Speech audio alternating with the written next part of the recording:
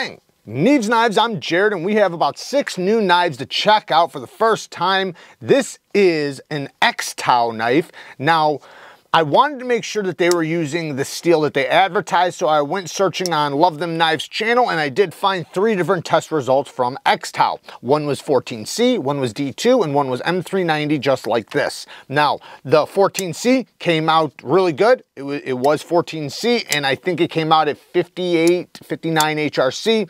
The D2 was D2. Um, I forget the HRC, but I remember it was fine. I think it was 60, something like that, but, but it was D2.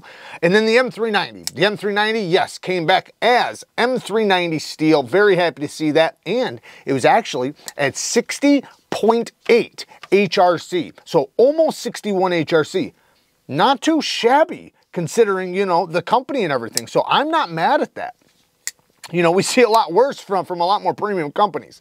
Anyways, we have a harpooned M390 blade in this beautiful frag titanium frame lock. Um, I like how they have the flat spots on the top and the bottom, you know, the separation with the frag. It looks really cool. You can see it's a reversible uh, clip that has a window there. T8 there, but does have a T6 on the window. So everywhere else is T8s except for this little window.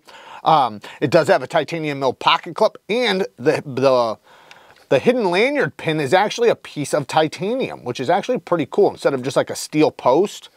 Um, now, the action, man, th this thing has shockingly good action. And I mean shockingly good as in detent wise. The detent is crispy, like super crispy. I was not expecting it. Like as soon as I opened it up, it was like, I was shocked. The, uh, it almost felt like it was assisted or something because it has a nice heavy detent. It, you can't, you can't fail it. Yeah, you can't fail this. That the detent's just too heavy. It's too crispy. You can hear it.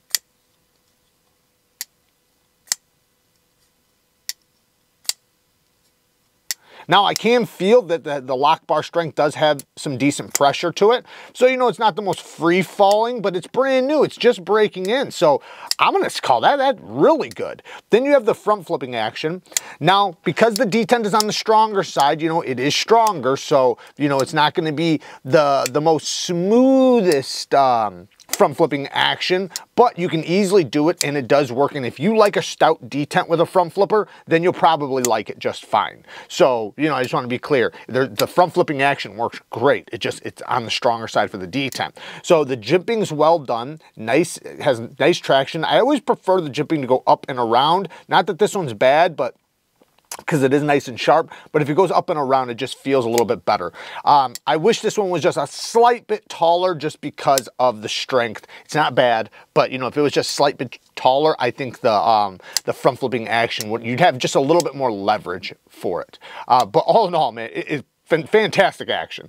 Um, it does have an over travel stop, as you can see right there on the inside, which is pretty cool. I like how they did that. Um, lockup is nice and strong. I have checked it. It's very, very solid. Access to the lock bar. They did give you a little chamfer on this edge. Uh, you know, this could be pulled back just a little bit, but it's not uncomfortable. It's easy to disengage. You can hear the lockup too. Nice strong lockup. The titanium mill pocket clip works great going in the pocket. However, coming out of the pocket, you can kind of catch on this edge right there. Um, you know, it, it's not horrible. Um, I wouldn't call it bad, but you know, it could be improved by moving that cutout to the inside. So, you know, it's a decent clip. It's not bad, but it could be better. Um, on this side, it'll probably be, probably be fine or awesome because there's no um, cutout for the lock bar. So the, um, the clip does have a spot for a piece of tritium too, which is pretty cool. So all in all, I'm actually very impressed with this knife. I was not I did not think I would like this as much as I do. Um, I think they did a fantastic job all the way around for the most part. Um, and these aren't super expensive considering the materials and everything. And um, the one thing I thought it was going to be is I thought it was just going to have premium materials but still feel like a budget knife. And, and this definitely has a little bit more of a premium feel to it.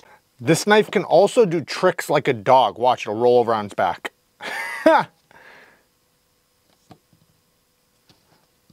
roll over. I can get it to stay upright. But I can also just, if I just set it down, it'll roll over. with premium materials. Um, very premium, actually. Anyways, um, the, the plunge grind could be better. That's the one, my one negative. I wish the plunge grind was better. I wish the cutout for the lock bar was on the inside. And, you know, the front flipper could be a little bit taller. Um, all very small nitpicks, nothing saying that, that it's bad in any way, shape, or form. Um, and I'm very happy that their steel tested out good. The next knife is from Lothar.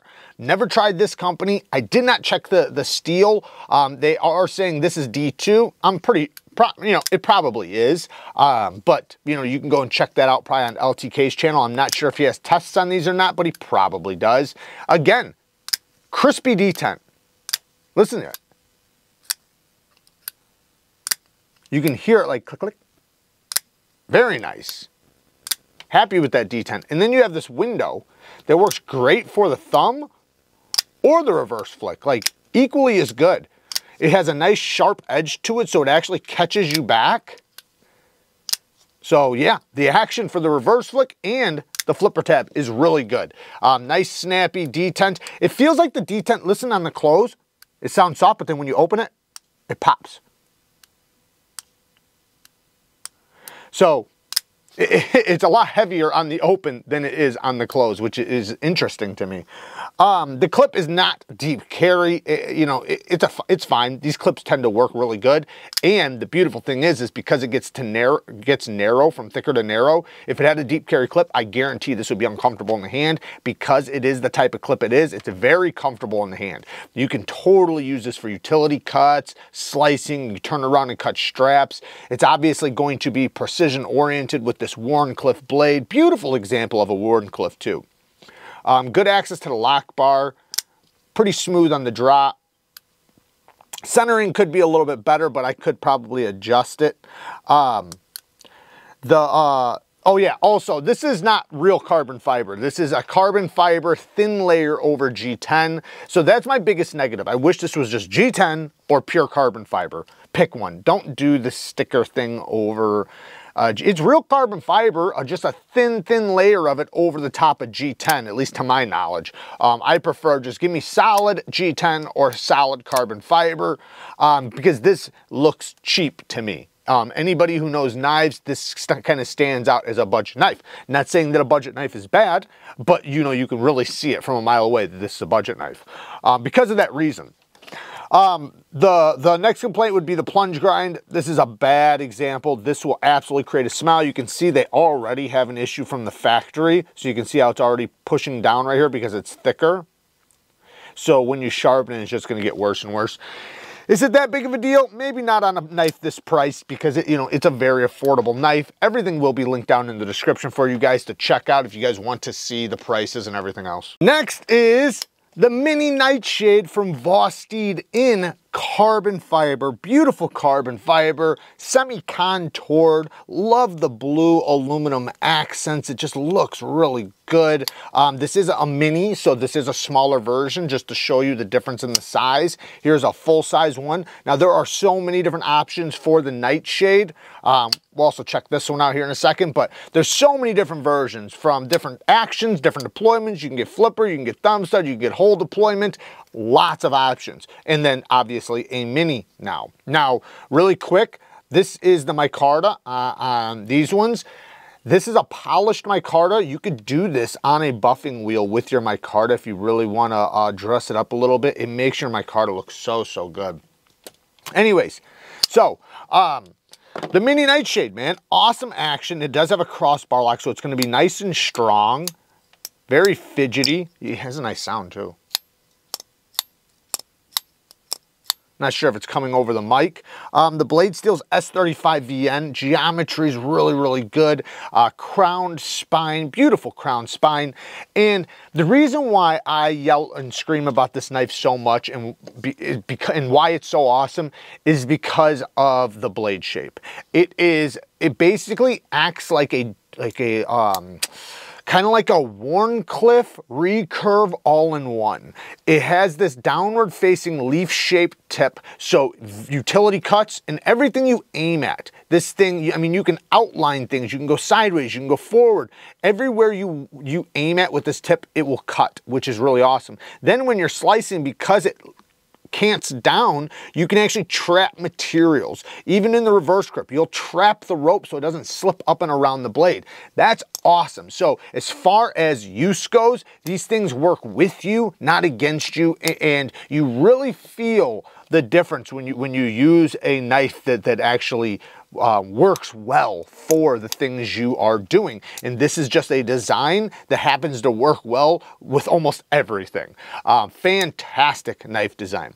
Um, and yeah, like I said, there's so many different versions of it. This is super lightweight, man. That is one thing I can feel right away. Very lightweight, great size for the for people that like a smaller knife. And then if you like the bigger ones, you can always go with the bigger option. Um, so yeah, and basically any deployment you want. So definitely check them out. Everything will be linked down in the description. Also, really quick, while we're talking about Vosteed, we have more knives to get to, but they do have the new sheep's foot raccoon now instead of the spear point. You can get the spear point in um, crossbar lock or button lock action in 14C 28N blade steel. Beautiful, beautiful blade shape. Now, the sheep's foot blade's obviously gonna be a little bit more useful for some things. They're both really good though. They're both very versatile blade shapes. So if you didn't know about it, there you go. They do have the new Raccoon with a sheep's foot blade. Again, I will have everything linked down in the description. Let's check out the next one.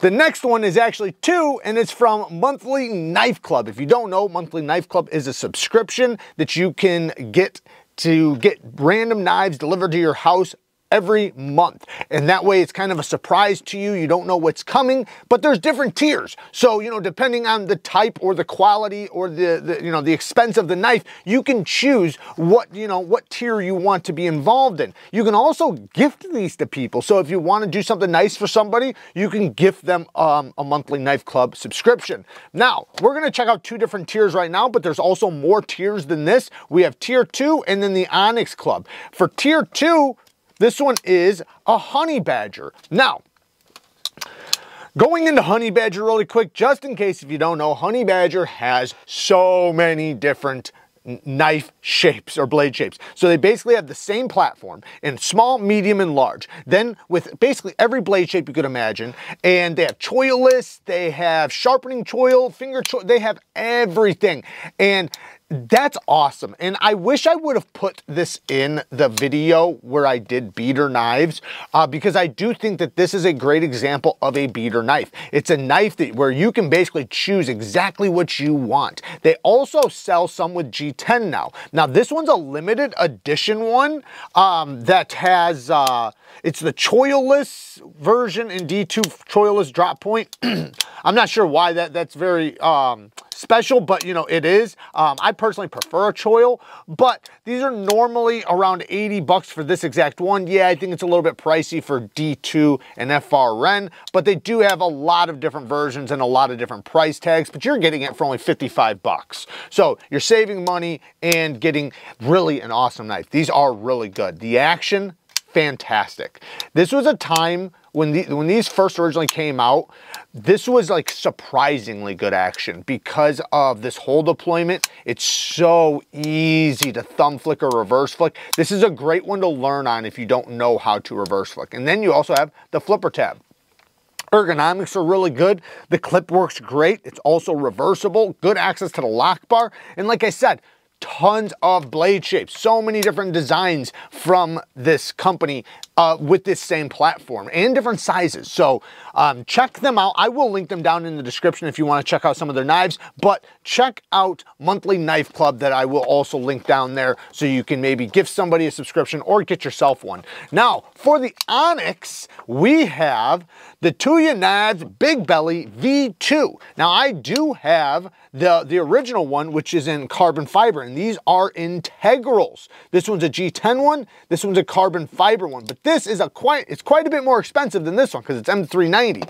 This one, however, you have 154 CM blade steel, and it has this big belly, almost, I, I guess you'd call it a harpoon, but drop point blade, and then it is an integral. And I personally, I, I don't know if I've ever seen G10 like this. It almost looks like wood grain. I freaking love it. I don't know why we don't see side cut uh, G10. Maybe we do and I just don't know about it, but it looks really, really cool. You can actually see the fibers almost like it is carbon fiber or like it's wood grain.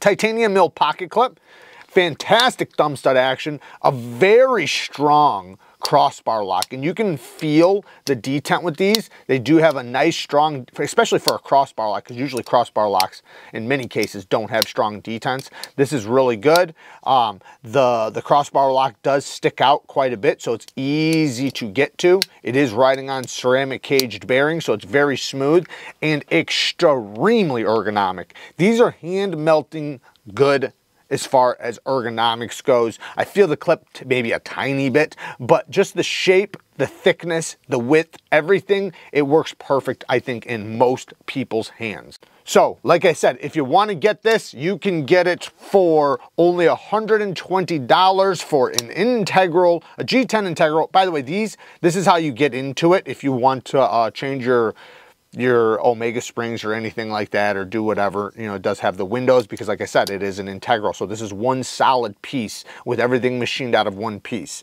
Um, decent sized stop pin. The lockup is rock solid, by the way, um, even on my other one.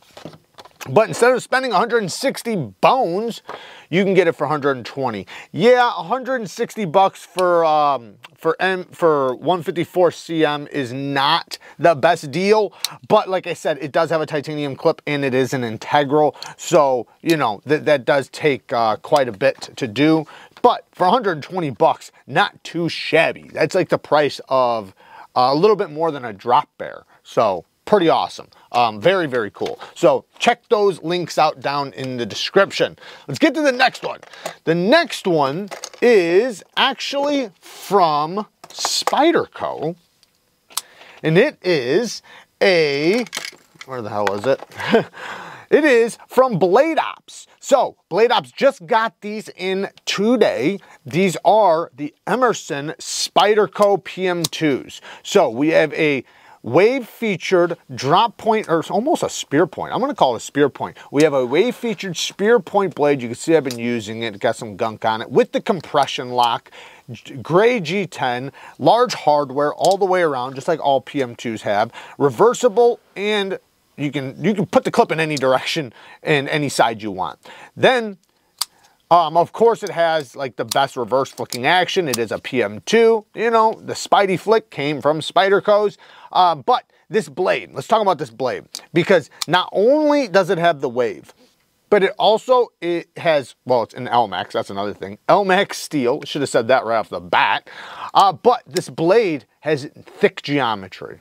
So is that good? Possibly, because depending on what you use your knives for, this is going to be stout. This is not going to be like a regular PM2 where you're worried about breaking your tip or anything like that. You're not breaking the tip on this. Another thing is that it's made for puncturing, you know, to be able to withstand puncturing into things. And it has a very pokey, pokey tip, but it's nice and stout, so it opens things up. And then, you know, yes, it can still slice just fine. You can still cut and do use it as an EDC knife. And that's kind of the beauty of it because it's an EDC knife that also acts as a self-defense knife or a tactical knife. The compression lock is a very strong locking system. So, you know, it, you're going to have strength there. You're not going to have to worry about it failing on you if you do have to use it in that type of situation. Yet, it's very fidgety you know, nice fun uh, deployment. And it is on washers. So these are very tough work knives. And when you get it with this type of blade shape, um, far tougher. So I would say the, the regular um, the regular version has a, a slicey, very utilitarian blade shape that that is not tough. You know, it does have the potential to break and chip and things like that because it's it's thin. This is the exact opposite. This is tough, stout, and um, yeah, and could probably be, you know, somewhat hard used, if not just absolutely hard used. Um, so yeah, definitely check that out. Blade Ops. And check out everything else from Blade Ops. Blade Ops has a lot of stuff.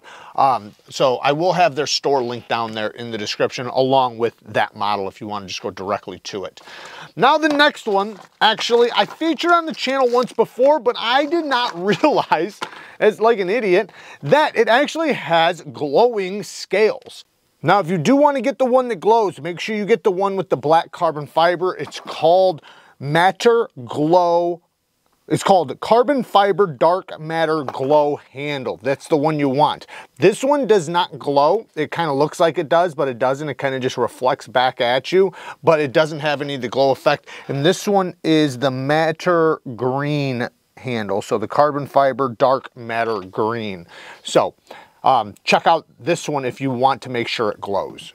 It's an M390 blade made in Italy. So this is an Italian knife. It's called the Lion Steel M4. The ergonomics, everything about this is, is stout and bushcraft. Like I can just, I feel like I could um, survive with this thing. Not only does it seem like it'll do, do good with batoning and things like that, you can strike fires back here because people are like, man, why does it have a crown spine if it's, you know, a camping knife? Well, you got the fire striker back here, very sharp, as you can see. Um, so you can strike fires back there. The leather sheath is really good quality, um, like super good quality. Nice, thick, full grain leather, beautiful double stitching. Yeah, th these are uh, very well made sheaths. And then the blade is, like I said, M390, but which is not a tough steel, um, I imagine they're running it a little bit on the softer side in order to increase the toughness, but it also has thicker geometry. So it's not so thick to where it's not gonna slice. It's actually gonna do everything you could, everything you're gonna wanna use it for and excel but it's going to be heavy duty enough to where you're, you're going to be able to be tougher on it. You can baton with it. You can do things with it without worrying about it breaking. It is full tang construction and the ergonomics are just, this is perfect ergonomics. You know, you can see it kind of swells up right here. Um, it's perfect ergonomics. This is so, so, so, so comfortable in the hand, no matter what direction you're gonna use it. Um, so, the Lion Steel M4. By the way, this did come from Kaviso. Kaviso has a ton of knives, a ton of everything. Check the link out down in the description for Kaviso. I'll link these, I'll try to link these directly, but I'll also put their entire store down there so you can check out some of the things that they have. They do have a lot of things and they even have some exclusives and things like that that are only at Kaviso Viso. So check them out down in the description. Work hard, stay tough. Until next time, peace.